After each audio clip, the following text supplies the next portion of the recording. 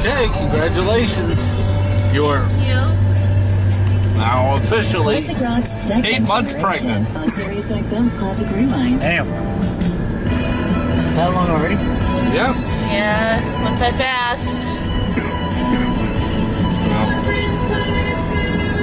How does it make you feel? Excited. You're almost here, Amelia. Yes, indeed. One more month to go, Yep. and then no more funny cravings.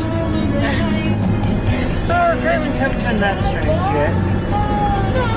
Yeah, but this is the final stretch of it. This is where the where it's really gonna hit. So, save for gas money, dear brother.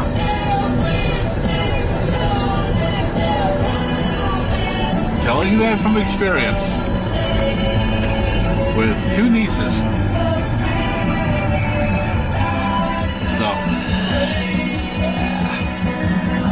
it's probably the only So best what's next? advice. Are you gonna ask me to get you a frozen pizza with sardines on it?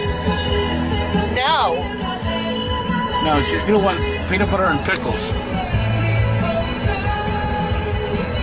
Well, speaking of peanut butter, I found out that the earliest age you can introduce a baby to peanut butter Yeah. is at four months. Oh, okay.